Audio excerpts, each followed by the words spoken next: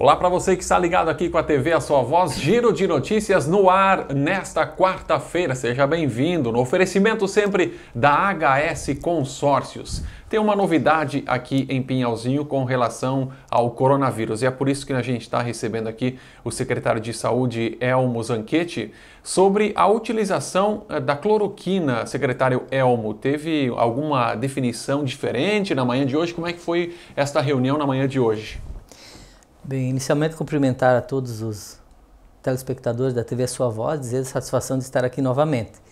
É, realmente nós tivemos pela manhã uma reunião virtual técnica com todos os prefeitos da região dos, da comarca de Pinhalzinho, da comarca de Modelo, compreendendo, portanto, de, é, sete municípios, onde tivemos a participação de mais de 60 pessoas, entre secretários de saúde, técnicos, médicos, os próprios prefeitos, e eh, chegou-se à conclusão então que a partir de agora, é, com a concordância de todos os prefeitos e secretários de saúde, será assinado um TAC, que na verdade é um acordo, um, uma, uhum. uma, é, uma combinação entre o poder público e o poder judiciário, é, a promotoria no caso, para que a gente possa oferecer aos munícipes desses sete municípios os tratamentos é, com não só a hidrocloroquina, mas também a ivermectina, todos aqueles medicamentos que estava bastante duvidoso se usa ou não usa, mas na visão de todos que participaram, não só do nosso promotor, mas de todos que participaram,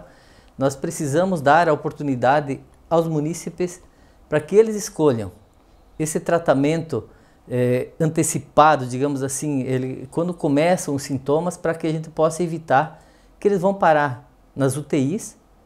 Todos sabemos da, da gravidade que, que estamos, estamos vivendo com poucos é, espaço para internação nas UTIs, né? Então, para evitar de repente que as pessoas cheguem até lá. Então, a partir de agora estará liberado. É claro que teremos uma deficiência porque esse produto, como ele é muito procurado, primeiro ele está um tanto escasso. Estando escasso, existe a tal da lei da oferta e da procura que o preço sobe. Então está havendo uma exploração no valor de todos os medicamentos que são indicados nesse tipo de tratamento e então nós vamos ter que ajustar devagarinho até que os estoques se regularizem para poder oferecer realmente a toda a população. Secretário, essa é uma definição aqui de Pinhalzinho ou dos municípios da nossa região aqui? É dos municípios da comarca. Ah, da de comarca. Pinhalzinho e Modelo que compreende então a jurisdição é. que o doutor Edson que tomou essa frente aí, parabenizo pela atitude, porque uhum. nós como gestores da saúde nós percebemos o, o quanto as pessoas é, às vezes não sabendo direito se ele dá ou não dá resultado, eles nos cobram. Por que, que não aplica o remédio? Porque a televisão está fazendo bastante sensacionalismo em cima. Um lado puxa para usar, outros puxam uhum. para não usar. Então a gente quer pelo menos deixar livre para a pessoa dizer, oh, eu quero. Uhum. Então tem médicos que, na verdade, o médico tem essa liberdade de, através dos protocolos deles, de receitar ou não receitar. Mas pelo que se entende desta, deste TAC que a gente vai acabar assinando eh, ainda na tarde de hoje, seria uma forma de não pressionar, mas fazer com que os médicos coloquem pelo menos a possibilidade do paciente ter a livre escolha. Eu não quero ou eu quero, uhum. né? Inclusive correndo, a, a, a, assumindo para ele Sim. os riscos que possam ter utilizando. É lógico que cada médico deverá alertá-lo, porque se a pessoa tem um problema de coração, por exemplo, se tomar a, a hidroxicloroquina pode dar problema. Então ele tem que é, alertar o paciente nesse sentido. Secretário, como é que está o estoque, digamos assim, de testes para a Covid aqui em Pinhalzinho? Bem, hoje na manhã nós recebemos o nosso terceiro pedido, fora daqueles que a gente recebeu do Ministério da Saúde, né? Uhum. Então chegaram mais 2 mil testes a um preço bem melhor, né? Veja que nós no mês de março, abril, nós encomendamos, que chegou lá no mês de maio, eh, os primeiros 100 testes adquiridos com dinheiro público dos cofres de Pinhalzinho pagamos, na ocasião, R$ 103,50 por teste. Por teste. Eu achava um absurdo, mas para minha tranquilidade, a maioria dos secretários da região pagou de 150 a 180, 200 reais por teste. Era é, escasso e houve uma exploração muito grande nesse sentido. Uhum. É, há um mês e meio atrás, nós compramos, através da, do CISAMOS, que é o nosso consórcio de saúde, é, a R$ 20,90, uh, 20 reais e 99 centavos. 21 reais. É, inclusive nós compramos 1.500 testes. Inclusive eu tinha pedido 2.500 e como houve uma demanda muito grande, nós conseguimos reduzir porque eu tinha certeza que ia baixar mais. E dinheiro público tem que ser muito bem usado. E tivemos sorte, então com esses 1.500 testes nós conseguimos dar o giro nesse período e ele caiu para R$ 14,10.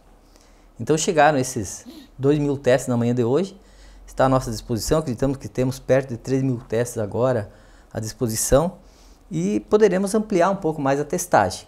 Uhum. Apesar de que a gente está testando bastante. Eu fiz o um levantamento e faço em relação a Chapecó, para o nosso telespectador ter uma noção.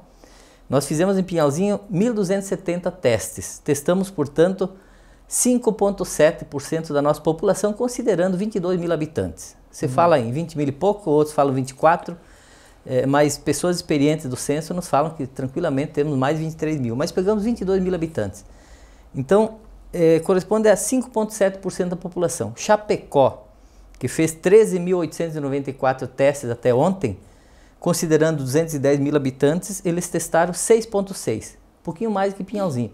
Só que, é, vendo um outro, por outro prisma, é, dos nossos 1.270 testes realizados, 255 deram positivos. Corresponde, portanto, a 20% das pessoas testadas. E Chapecó, dos 13.894 testes realizados, 5.688 deram positivo. Portanto, 40% deram positivo. O dobro de Pinhalzinho. Então isso nos indica, nos, nos mostra que Chapecó está fazendo teste só para aqueles que têm mais certeza de que estão com o Covid. Uhum. Nós não, nós conseguimos testar uma abrangência maior dentro desse universo de 1.270 testes, tendo apenas uma morte, que foi até muito questionada, e não uhum. teve que se questionar porque um, depois de um laudo médico, né, é, eu acho que a gente tem que aceitar. Mas é, a gente está contente com isso e a população precisa saber que, então, deste total de testes, apenas 20% se confirmaram como positivo.